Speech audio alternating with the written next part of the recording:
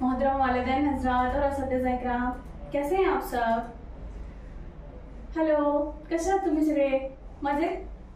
आज आपण वर्ग चौथीचा मराठीतला धडा चित्रवर्णन हे विद्यार्थ्यांना समजून सांगायचं आहे. आज हम देखेंगे जमात चाहरों का मराठी का ये सबक चित्रवर्णन यानी तस्वीर देखकर अपने ख्यालात का इजहार करना।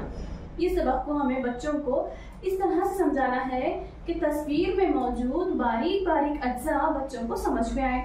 जैसे कि तस्वीर में अलग अलग रंग, तस्वीर में मौजूद जानवर, चरित, परेन, लोग, ये सारी चीज़ें बच्चे इसका मुशाहिदा कर पाए और बयान भी कर पाए।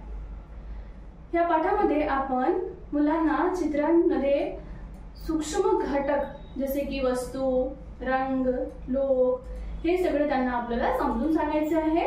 मग नंतर विद्यार्थी पण आपल्याला हे चित्राचं वर्णन करताना सगळे घटक समझून सांगतील. इसी के साथ साथ हमें बच्चों के यहाँ पर जबान की तरक्की, जहनी तरक्की और सामाजिक तरक्की पर भी ध्यान देना है। कहने का ये मतलब कि जिस तरह से एनईपी ने हमें बताया है, हमें बच्चों की यहाँ पर मजमूई तरक्की का यहाँ पर हमें ख्याल रखना होगा।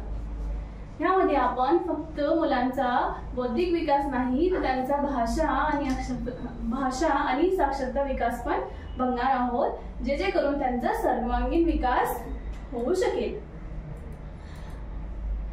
बच्चे जब तस्वीर देखेंगे, तस्वीर की बारीकियाँ देखेंगे तो उन्हें समझ आएगा कि तस्वीर उतारना इतना आसान काम नहीं है। जो कलाकार होते हैं, कलाकार के लिए बच्चों के दिल में इज़्ज़त यहाँ पर पैदा होगी। मुलामध्ये कलाकारी विषय मुलामध्ये कलाकार विषय आदरची भावना पण या देखील निर्माण होते. कारण हे जे धडा आहे आपला खूपच सुंदर आणि आपल्याला फक्त चित्रचित्र बघायचं आहे तर आपण जेवढे काही आपले ऋतू आहेत त्या सगळ्या ऋतूबद्दल मुलांना या ठिकाणी आपण सांगणार आहोत. उन्हाळा पावसाळा हिवाळा त्याच्यामध्ये काय काय असते त्याचे घटक कोणते कोणते आहेत हे सगळे आपण त्यांना समजून सांगू.